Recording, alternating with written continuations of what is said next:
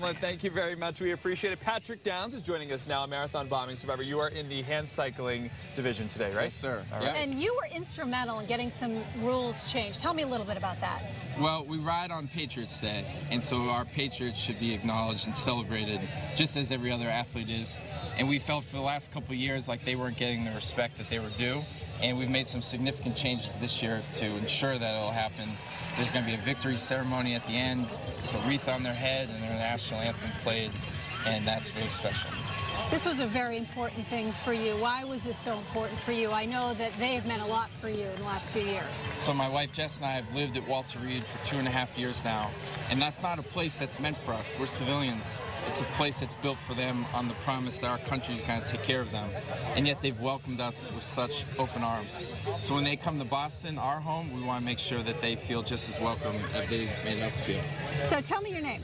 Brandon Dodson. And what do you think about what he's done here with the big changes? It's, it- you know what it is? It's typical Patrick Downes, is what it is. It really is. He, I think, meeting um, all the Wounded Warriors at Walter Reed, being civilians, they just melded right in. They're such nice people. Uh, him and his wife Jessica, and they, we, they've absolutely become family. They're in our military Wounded Warrior family community now. So to see him open up Boston and make the BAA kind of like, hey, recognize this the way it should be is.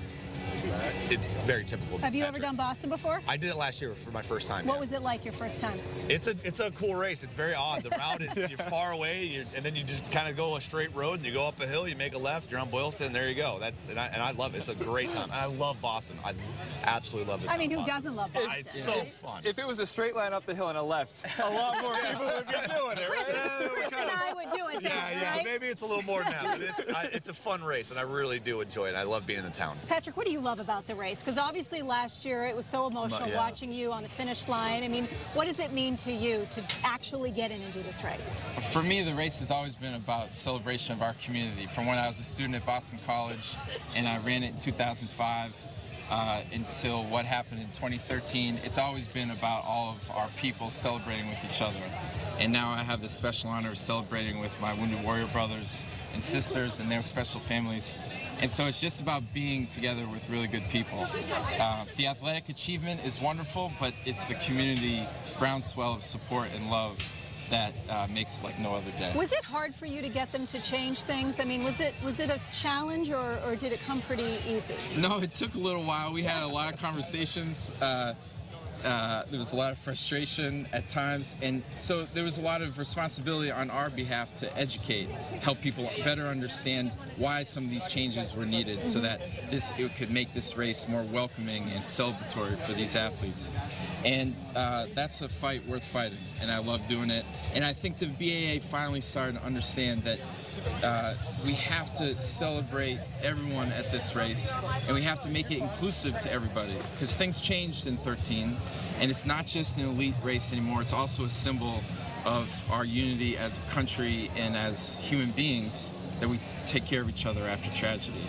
And they took care of us they were the first ones by our side they welcomed us at walter reed and so when they come here we want to make sure that we welcome them too Does this make it more special for you this year? Oh, without a doubt. I mean, I've been like shadow boxing the wall and jumping down and not sleeping, and uh, really fired up last night at our dinner beforehand.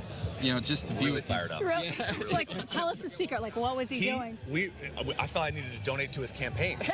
I was like, when are you running? 2020? Is this what's happening right now? I say, I say some dinner. words that aren't really appropriate for No, the not for campaign TV. Not for trail. TV. No, No, no. no, it's morning TV. later, Patrick, later. So, Patrick, when you, every time you hit that start line, I mean, Yeah. is, is, it, is it something just brand new and special every single time that you hit that? Yeah, the nerves in the morning feel the same. Uh, the tears start to swell up in my eyes. I think about all the history that represents for myself and my wife and for our family. Um, what it means for not only Boston, but all the towns from here to there, and all the people in Massachusetts. Uh, it's an incredibly special day that we all get to celebrate together.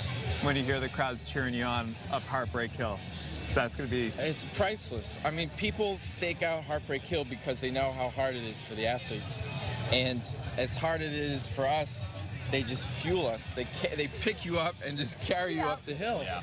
and and that they you feel that whether or not you're from here or not. You really feel it. It's, it's awesome. All right, guys. Well, you know what? You got a great day. It's a little warm. Sorry about the, the Awesome. warm. I'll take it. It's going to be a great day. We go so fast, we get some nice oh, wind.